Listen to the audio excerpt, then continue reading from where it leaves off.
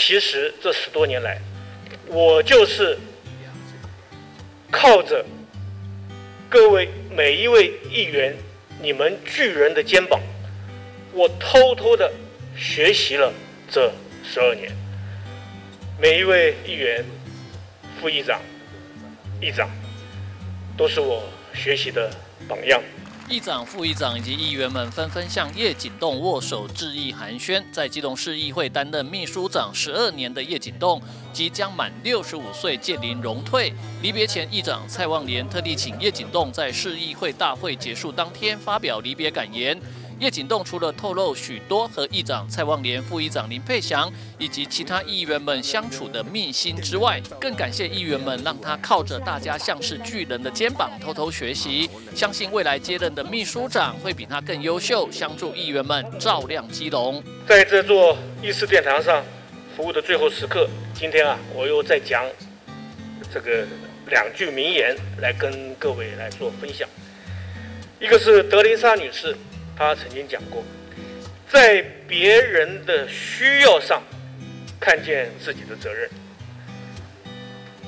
海伦·凯勒女士也说过：“提高你手上的灯，好让你的光照亮更多的路。”各位议座承担民意，用心为民喉舌，相信未来一定可以为基隆三十六万市民照亮更多的路。行动的责任。即将卸下，未来新任的秘书长必定比景栋更为优秀，相信更能协助协助议座们照亮基隆更美好的路。议长蔡旺莲则是对叶景栋的退休感到不舍，更感谢他多年来的付出，就是有种很舍不得的心情呢。不过以后我们还是会时常会会有联系。啊，终究是好朋友一场嘛，对不对？是这样子。那今天特别他给他一个机会，然后发表一下他对这个议会这一份感情，然后有一些的感言哦，让他疏疏漏一些，然后让我们所有的议员他们跟感受一下他对议会的这一份情感。谢谢。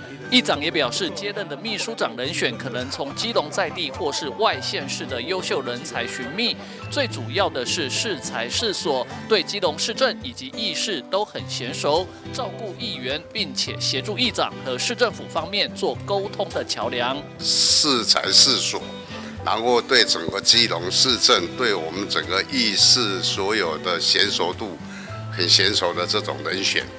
而且也会照顾我们所有的议员，然后做协助议长，能够做一个桥梁，跟市政府这方面的一些业务上的沟通，做一个很适当桥梁的这种人选，是我优先考虑的。好，所以有可能从基隆市或从呃外县市来延揽都有可能，都有可能，都有可能，都有可能。记者吴俊松，基隆报道。